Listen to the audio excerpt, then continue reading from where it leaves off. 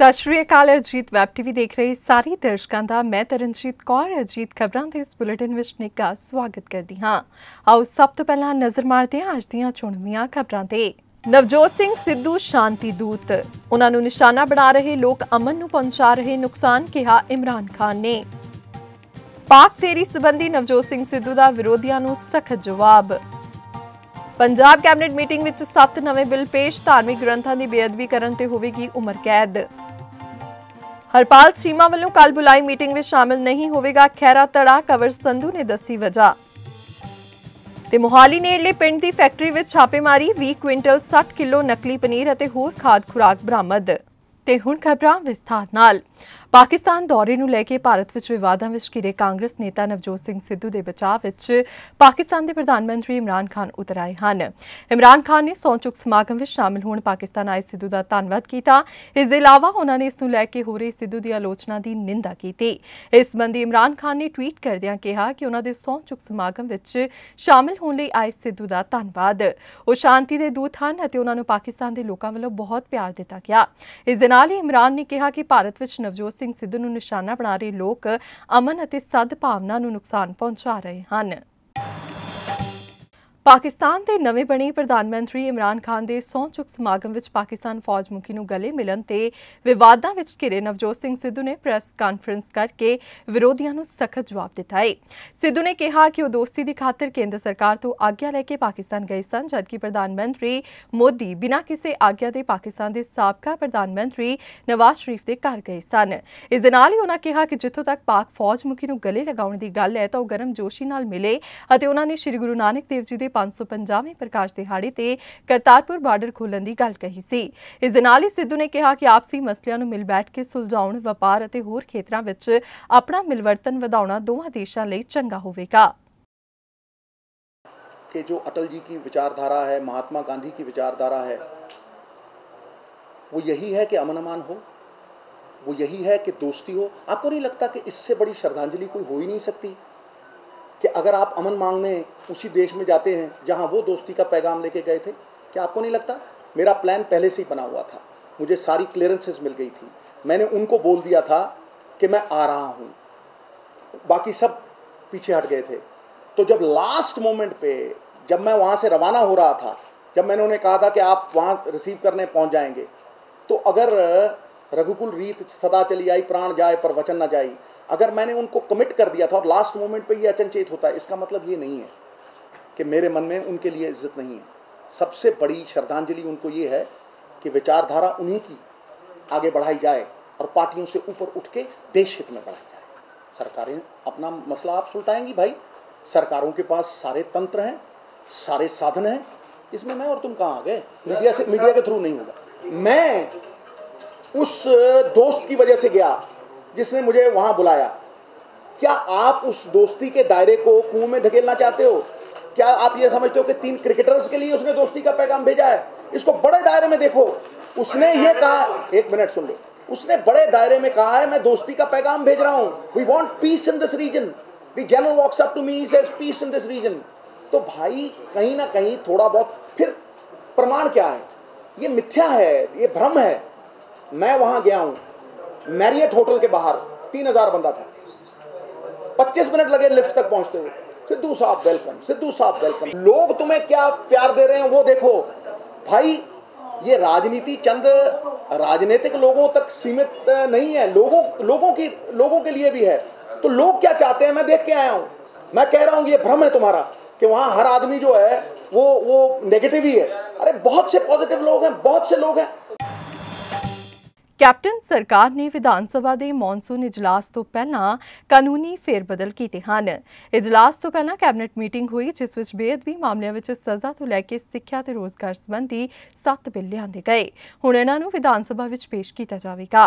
ਪੰਜਾਬ ਦੇ ਵਿੱਤ ਮੰਤਰੀ ਮਨਪ੍ਰੀਤ ਸਿੰਘ ਬਾਦਲ ਨੇ ਦੱਸਿਆ ਕਿ ਸੰਵਿਧਾਨ ਵਿਚਲੀ ਆਈਪੀਸੀ ਦੀ ਧਾਰਾ 295 ਏ ਵਿੱਚ ਤਬਦੀਲੀ ਕੀਤੀ ਗਈ ਹੈ ਉਹਨਾਂ ਦੱਸਿਆ ਕਿ ਸ਼੍ਰੀ ਗੁਰੂ ਗ੍ਰੰਥ ਸਾਹਿਬ ਅਤੇ ਹੋਰ ਧਾਰਮਿਕ ਗ੍ਰੰਥਾਂ ਦੀ ਬੇਅਦਬੀ ਕਰਨ ਤੇ ਪੰਜਾਬ ਵਿੱਚ ਹੁਣ ਦੋਸ਼ੀ ਨੂੰ ਉਮਰ ਕੈਦ ਦੀ ਸਜ਼ਾ ਹੋਵੇਗੀ।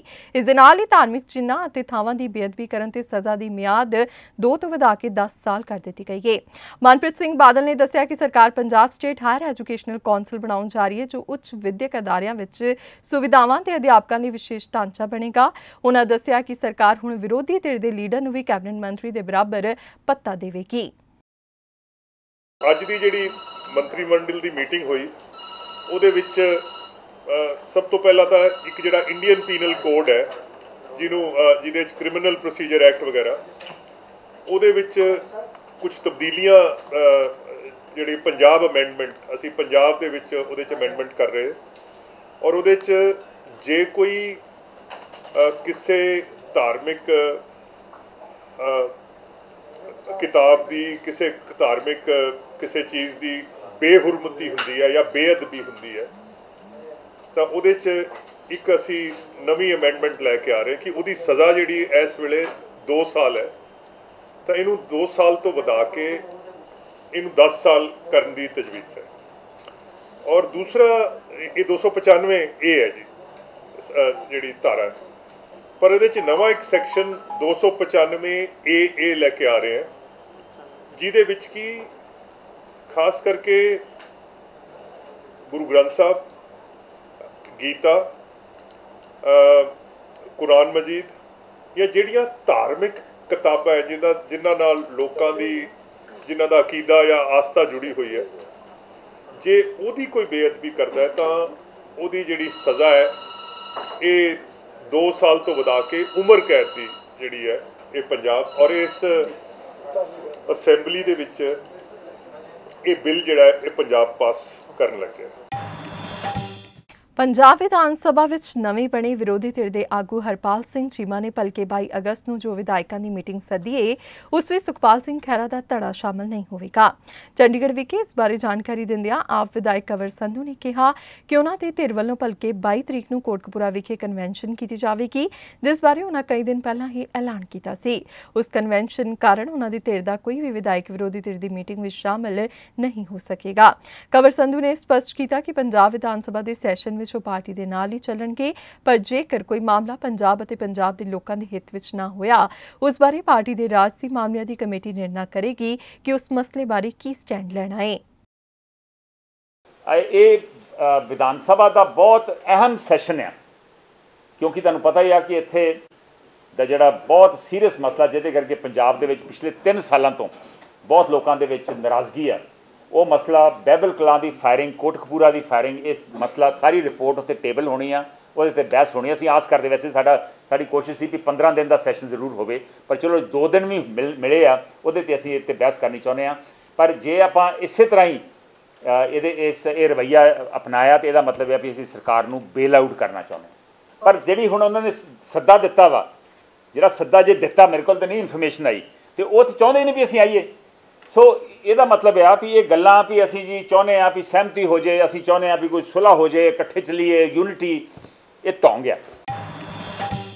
ਡੇਰੀ ਵਿਕਾਸ ਬੋਰਡ, ਸਿਹਤ ਵਿਭਾਗ ਤੇ ਪੁਲਿਸ ਵਿਭਾਗ ਵੱਲੋਂ ਮੁਹਾਲੀ ਨੇੜਲੇ ਪਿੰਡ ਬੱਲੋ ਮਾਜਰਾ ਵਿਖੇ ਬਿਨਾਂ ਲਾਇਸੈਂਸ ਤੋਂ ਖਾਦ ਪਦਾਰਥ ਤਿਆਰ ਕਰਨ ਵਾਲੀ ਫੈਕਟਰੀ ਵਿੱਚ ਛਾਪੇਮਾਰੀ ਕੀਤੀ ਗਈ।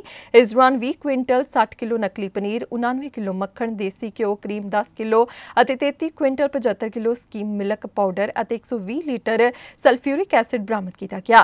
ਇਸ ਗੋਰਖ ਧੰਦੇ ਨੂੰ ਚਲਾਉਣ ਵਾਲੇ ਅਸ਼ੋਕ ਕੁਮਾਰ ਨੂੰ ਗ੍ਰਿਫਤਾਰ ਕਰਕੇ ਮਾਮਲਾ ਦਰਜ ਕੀਤਾ ਗਿਆ ਹੈ ਇਸ ਫੈਕਟਰੀ ਤੋਂ ਤਿਆਰ ਕੀਤਾ ਜਾਂਦਾ ਨਕਲੀ ਪਨੀਰ, ਘਿਓ ਅਤੇ ਹੋਰ ਖਾਦ ਖੁਰਾਕ ਚੰਡੀਗੜ੍ਹ ਸਮੇਤ ਖਰੜ ਕੁਰਾਲੀ ਐਸਐਸ ਨਗਰ ਡੇਰਾਬੱਸੀ ਰਾਜਪੁਰਾ ਤੇ ਹੋਰ ਨੇੜਲੇ ਸ਼ਹਿਰਾਂ ਅਤੇ ਕਸਬਿਆਂ ਵਿੱਚ ਸਪਲਾਈ ਕੀਤੇ ਜਾਂਦੇ ਸਨ। ਸਾਨੂੰ ਇਹ ਟਿਪ ਆਫ ਮਿਲੀ ਸੀ। ਇਹ ਬੱਲੋ ਮਾਜਰਾ ਪਿੰਡ ਹੈ। ਉਹਦੇ ਆਊਟਰ ਸਕਰਟਸ ਤੇ ਫਿਰਨੀ ਤੇ ਐਡਜੋਇਨਿੰਗ ਨਾਰਥ ਕੰਟਰੀ ਮਾਲ ਇਹ ਫੈਕਟਰੀ ਹੈ ਜੀ, ਇਹ ਬਣਾਉਂਦੀ ਹੈ ਪਨੀਰ। ਆ ਕੇ ਦੇਖਿਆ, ਬਹੁਤ ਹੀ ਬੁਰੀ ਹਾਲਾਤ ਦੇ ਵਿੱਚ ਇਹ ਪਨੀਰ ਬਣਦਾ ਸੀ, ਜਿੱਥੇ ਕਿ ਬਿਲਕੁਲ ਦੁੱਧ ਦਾ ਇੱਕ ਪੈਕੇਟ ਵੀ ਨਹੀਂ ਸੀ।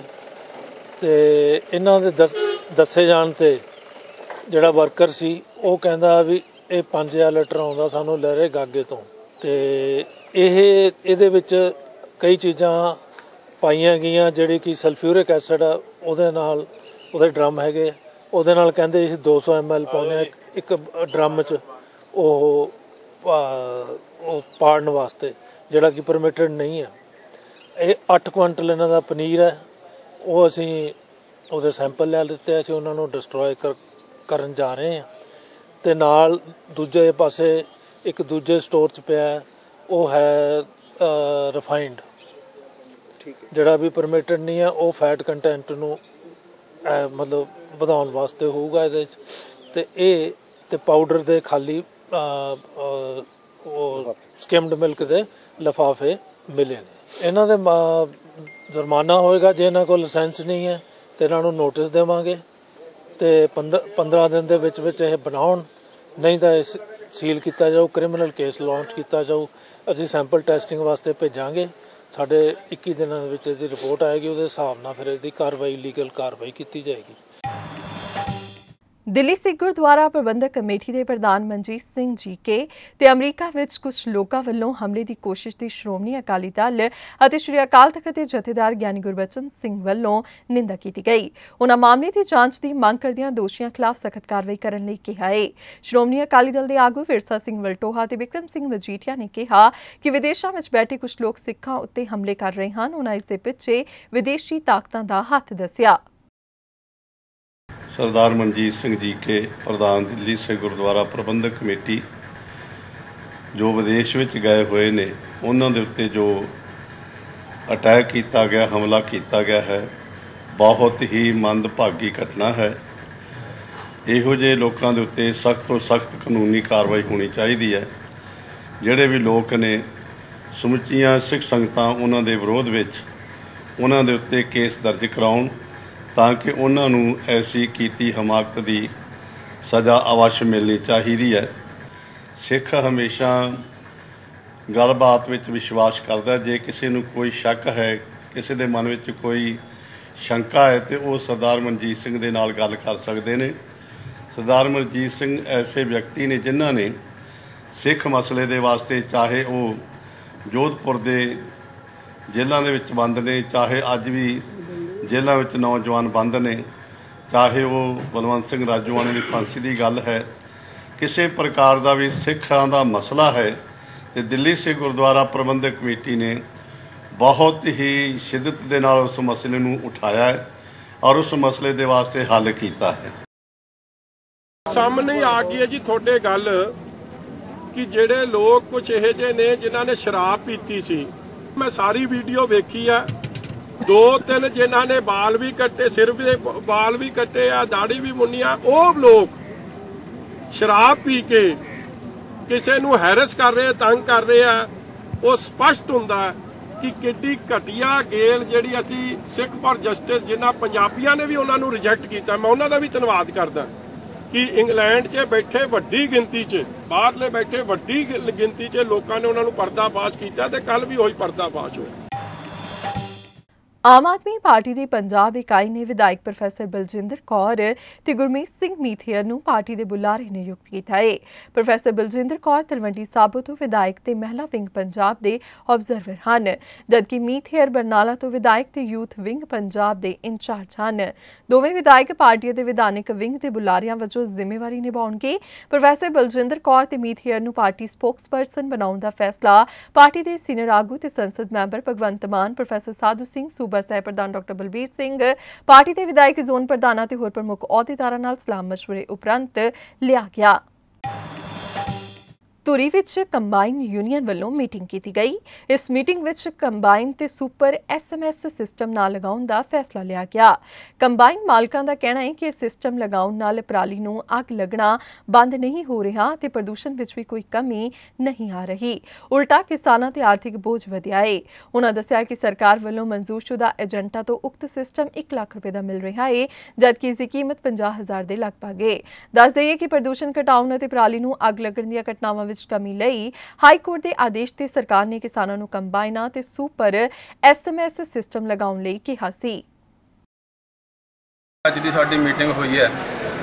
ਇਹਦੇ ਵਿੱਚ ਸਰਕਾਰ ਵੱਲੋਂ ਜੋ ਕੰਬਾਈਨਾਂ ਪਿੱਛੇ ਸੁਪਰ ਐਸਐਮਐਸ ਲਵਾਉਣ ਦੀ ਹਦਾਇਤ ਦਿੱਤੀ ਗਈ ਸੀ, ਉਹਦਾ ਅਸੀਂ ਪੁਰਜੋਰ ਵਿਰੋਧ ਕਰਦੇ ਹਾਂ। ਕੋਈ ਵੀ ਕੰਬਾਈਨ ਮਾਲਕ ਸੁਪਰ ਐਸਐਮਐਸ ਨਹੀਂ ਲਵਾਵੇਗਾ, ਕਿਉਂਕਿ ਇਸ ਦੇ ਨਾਲ ਜਿਹੜੀ ਸਰਕਾਰ ਨੂੰ ਹਦਾਇਤ ਹਾਈ ਕੋਰਟ ਵੱਲੋਂ ਦਿੱਤੀ ਗਈ ਹੈ ਅੱਗ ਨਾ ਲਾਉਣ ਦੀ, ਉਹਨੂੰ ਕੋਈ ਫਾਇਦਾ ਨਹੀਂ ਹੋਣ ਵਾਲਾ।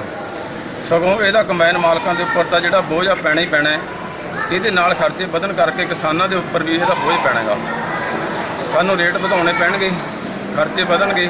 ਕਿਸਾਨ ਪਹਿਲੇ ਸਰਕਾਰ ਦੀਆਂ ਗਲਤ ਨੀਤੀਆਂ ਕਰਕੇ ਕਰਜ਼ੇ ਥੱਲੇ ਦੱਬਿਆ ਪਿਆ ਤੇ ਵਾਧੂ ਕਿਸਾਨ ਜਿਹੜਾ ਰੇਟ ਆ ਉਹ ਕਿੱਥੋਂ ਦੇ ਦੇਵੇਗਾ? ਖੇਤੀਬਾੜੀ ਦੇ ਵੱਲੋਂ ਸਿਫਾਰਸ਼ ਕਰ ਰਹੇ ਨੇ ਹੁਣ ਐਸਐਮਐਸ ਸਿਸਟਮ ਦੀ। ਉਹ ਲੋਕ ਕਿਸਾਨਾਂ ਨਾਲ ਮਜ਼ਾਕ ਕਰ ਰਹੇ ਨੇਗੇ ਖੇਤੀਬਾੜੀ ਦਫ਼ਤਰ ਦੇ ਵਿੱਚੋਂ ਉਹਨਾਂ ਨੇ ਫਾਰਮ ਭਰਵਾਏ ਨੇ ਹੁਣ। 5-5000 ਦੇ ਡਰਾਫਟ ਬਣਵਾ ਲਏ। ਉਹਦੇ ਵਿੱਚੋਂ ਉਹਨਾਂ ਨੇ 1200 ਫਾਰਮ ਭਰਾ ਕੇ, ਪਹਿਲਾਂ ਤੇ ਤਿਆਰ ਕਰਵਾ ਕੇ ਫਰਾ ਕੱਢੇ ਨੇ ਉਹਨਾਂ ਨੇ 10 ਲੋਕ ਕਿਸਾਨਾਂ ਨਾਲ ਮਜ਼ਾਕ ਹੀ ਕਰ ਰਹੀ ਹੈ ਸਰਕਾਰ ਇਹ। ਜਦੋਂ ਤੁਹਾਡੇ ਕੋਲ ਪੈਸੇ ਨਹੀਂ ਆਏ, ਤੁਸੀਂ ਕਿਉਂ ਕਿਸਾਨਾਂ ਨੂੰ ਗੁੰਮਰਾਹ ਕਰ ਰਹੇ ਹੋਗੇ? ਬਾਕੀ ਬੰਦਿਆਂ ਨੂੰ ਉੱਥੇ ਲੜਾਈ ਨੂੰ ਥੋਵੇਂ ਹੈਗਾ ਦਫ਼ਤਰ ਦੇ ਵਿੱਚ। ਕਮਿਸ਼ਨਰ ਨੂੰ ਕਿਹਾ ਵੀ ਕੈਂਸਲ ਕਰ ਦਿਓ ਇਹਨਾਂ ਨੂੰ ਉਹ ਕਹਿੰਦੇ ਜੀ ਤੁਹਾਡੇ ਕਿਸਾਨ ਨੇ ਕੈਂਸਲ ਕਰਨ ਦੇ ਰਹੇ ਗੱਲ ਕਿਸਾਨਾਂ ਤੇ ਆ ਕੇ ਫਿਰ ਛੱਡ ਦਿੰਦੇ ਨੇ। ਹੁਣ ਐਸਐਮਐਸ ਦਾ ਇਸੇ ਕਰਕੇ ਵਿਰੋਧ ਕਰਿਆ ਗਿਆ ਕਿਸਾਨ ਦੇ ਪੱਲੇ ਤਾਂ ਪਹਿਲੇ ਨਹੀਂ ਹੈਗਾ ਕੁਝ ਅਗਰ ਕੋਈ ਗੱਲ ਤੁਹਾਡੀ ਨਹੀਂ ਸੁਣੀ ਜਾਂਦੀ ਫੇਰ ਤੁਹਾਡਾ ਸਟੈਪ ਅਸੀਂ ਸੰਘਰਸ਼ ਤੇਜ਼ ਕਰਾਂਗੇ ਜੀ ਅੱਗੇ। ਨਹੀਂ ਉਹ ਅਸੀਂ ਰੋਡ ਵੀ ਬਲੌਕ ਕਰਾਂਗੇ। ਬਾਕੀ ਅਸੀਂ ਕੰਬਾਈਨਾਂ ਵੀ ਖੜਾਵਾਂਗੇ ਅਸੀਂ ਕਟਾਈ ਨਹੀਂ ਕਰਨੀ ਹੈਗੇ। ਜ਼ਿਲ੍ਹਾ ਹੁਸ਼ਿਆਰਪੁਰ ਦੇ ਪਿੰਡ ਦਿਹਾਣਾ ਵਿਖੇ ਗੁਰਦੁਆਰਾ ਸਾਹਿਬ ਵਿੱਚ ਸ਼ਾਰਟ ਸਰਕਟ ਹੋਣ ਨਾਲ ਸ੍ਰੀ ਗੁਰੂ ਗ੍ਰੰਥ ਸਾਹਿਬ ਜੀ ਦੇ ਚਾਰ ਪਾਵਨ ਸਰੂਪ, ਤਿੰਨ ਏਸੀ ਅਤੇ ਪਹਿਲੀ ਮੰਜ਼ਿਲ ਤੇ ਪਿਆ ਸਾਰਾ ਸਮਾਨ ਅਗਨਪੇਟ ਹੋ ਗਿਆ। ਮੌਕੇ ਤੇ ਅੱਗ ਬੁਝਾਊ ਦਸਤੇ ਦੀਆਂ ਗੱਡੀਆਂ ਨੇ ਪਹੁੰਚ ਕੇ ਅੱਗ ਤੇ ਕਾਬੂ ਪਾਇਆ। ਘਟਨਾ ਦੀ ਸੂਚਨਾ ਮਿਲਣ ਤੇ ਥਾਣਾ ਮੇਟਿਆਣਾ ਪੁਲਿਸ ਨੇ ਮੌਕੇ ਤੇ ਪਹੁੰਚ ਕੇ ਜਾਂਚ ਸ਼ੁਰੂ ਕਰ ਦਿੱਤੀ ਹੈ ਫਰਜ਼ੀ ਖਬਰਾਂ ਅਤੇ ਅਫਵਾਹਾਂ ਤੇ ਲਗਾਮ ਲਗਾਉਣ ਲਈ ਕੇਂਦਰੀ ਮੰਤਰੀ ਰਵੀ ਸ਼ੰਕਰ ਪ੍ਰਸਾਦ ਨੇ WhatsApp ਤੇ ਸੀਈਓ ਕ੍ਰਿਸ ਡੈਨੀਅਲ ਨਾਲ ਮੁਲਾਕਾਤ ਕੀਤੀ। ਦੱਸ ਦੇ ਕਿ ਸੋਸ਼ਲ ਨੈਟਵਰਕਿੰਗ ਸਾਈਟ WhatsApp ਤੇ ਫਰਜ਼ੀ ਸੰਦੇਸ਼ਾਂ ਅਤੇ ਅਫਵਾਹਾਂ ਤੋਂ ਬਾਅਦ ਦੇਸ਼ ਦੇ ਕਈ ਹਿੱਸਿਆਂ ਵਿੱਚ ਤਣਾਅ ਤੇ ਭੀੜ ਤੰਤਰ ਵੱਲੋਂ ਹਤਿਆਵਾਂ ਦੀ ਘਟਨਾਵਾਂ ਵਾਪਰੀਆਂ ਸਨ। ਕੇਂਦਰੀ ਮੰਤਰੀ ਰਵੀ ਸ਼ੰਕਰ ਪ੍ਰਸਾਦ ਨੇ WhatsApp ਤੇ ਇਹਨਾਂ ਘਟਨਾਵਾਂ ਨੂੰ ਰੋਕਣ ਲਈ ਪ੍ਰਭਾਵਸ਼ਾਲੀ ਕਦਮ ਚੁੱਕਣ ਦੀ ਮੰਗ ਕੀਤੀ ਸੀ। WhatsApp हिंदुस्तान में उनका सबसे बड़ा फुटप्रिंट है और भारत की टेक्नोलॉजिकल जागृति में व्हाट्सएप ने बड़ी भूमिका प्रकट की है। शिक्षा के क्षेत्र में, स्वास्थ्य के क्षेत्र में, सूचनाओं के आदान प्रदान के क्षेत्र में। अभी केरल में जो बाढ़ आया, उसमें भी राहत के काम में उनका सहयोग रहा है। इसके लिए आपका स्वागत है, अभिनंदन है। लेकिन व्हाट्सएप एक सोशल मीडिया प्लेटफॉर्म भी बन रहा है और एक प्रकार से इसका दुरुपयोग भी हो रहा है। विशेष रूप से मॉब लिंचिंग के मामले में, रिवेंज पॉर्न के मामले में, इसके मामले में आपको इसका टेक्नोलॉजिकल रास्ता निकालना पड़ेगा। और इसलिए मैंने विशेष रूप से ये उनसे आग्रह किया कि आप अपना एक ग्रीवांस ऑफिसर हिंदुस्तान में रखिए, जिसका पूरा सिस्टम हो, जहाँ लोग अपने शिकायत को बता सकें। दूसरा व्हाट्सएप को भारतीय कानून का पालन करना पड़ेगा। इसका सिस्टम आप बनाइए। और तीसरा कि आप एक ग्लोबल एंटिटी हैं, लेकिन आपको हिंदुस्तान में भी अपने कॉरपोरेट एंटिटी को स्थापित करना पड़ेगा ताकि कानूनों के कंप्लायंस में सुविधा हो सके। ये हमारी तीन मुख्य रूप से बातें थी। उन्होंने हमें यह बताया है कि हम इसका पूरा कंप्लायंस करेंगे, भारतीय कानूनों का कंप्लायंस करेंगे, हम यहाँ पर अपना ग्रीवांस ऑफिसर रखेंगे ਏਸ਼ੀਆਈ ਖੇਡਾਂ ਵਿੱਚ ਸੌਰਵ ਚੌਧਰੀ ਨੇ 10 ਮੀਟਰ 에ਅਰ ਪਿਸਟਲ ਵਿੱਚ ਸੋਨ ਤਮਗਾ ਜਿੱਤਿਆ। ਇਸੇ ਦੇ ਨਾਲ ਭਾਰਤ ਦੀ ਝੋਲੀ ਵਿੱਚ ਹੁਣ ਤੱਕ ਤਿੰਨ ਸੋਨ ਤਮਗੇ ਆ ਚੁੱਕੇ ਹਨ। ਉੱਥੇ ਦੂਜੇ ਪਾਸੇ ਅਭਿਸ਼ੇਕ ਵਰਮਾ ਨੇ ਵੀ 10 ਮੀਟਰ 에ਅਰ ਪਿਸਟਲ ਵਿੱਚ ਕਾਂਸੇ ਦਾ ਤਮਗਾ ਜਿੱਤਿਆ। ਇਸੇ ਤਰ੍ਹਾਂ ਮਹਿਲਾਵਾਂ ਦੀ ਰਿਕਰਵ ਵਿਅਕਤੀਗਤ ਮੁਕਾਬਲੇ ਦੇ ਰੈਂਕਿੰਗ ਰਾਊਂਡ ਵਿੱਚ ਭਾਰਤੀ ਤੀਰ ਅੰਦਾਜ਼ ਖਾਸ ਪ੍ਰਦਰਸ਼ਨ ਨਹੀਂ ਕਰ ਸਕੇ ਅਤੇ ਸਟਾਰ ਖਿਡਾਰੀ ਦੀਪਿਕਾ ਕੁਮਾਰ 17ਵੇਂ ਸਥਾਨ ਤੇ ਰਹੀ। ਤੇ ਇਸ ਦੇ ਨਾਲ ਹੀ ਅਜੀਤ ਖਬਰਾਂ ਦਾ ਇਹ ਬੁਲੇਟਿਨ ਇੱਥੇ ਹੀ ਖਤਮ ਹੁੰਦਾ ਹੈ। ਨਵੀਆਂ ਤੇ ਤਾਜ਼ਾ ਤਰੀਨ ਖਬਰਾਂ ਲੈ ਕੇ ਫਿਰ ਤੋਂ ਹਾਜ਼ਰ ਹੋਵਾਂਗੀ। ਤਦ ਤੱਕ ਲਈ ਦਿਓ ਇਜਾਜ਼ਤ। ਸਤਿ ਸ਼੍ਰੀ ਅਕਾਲ।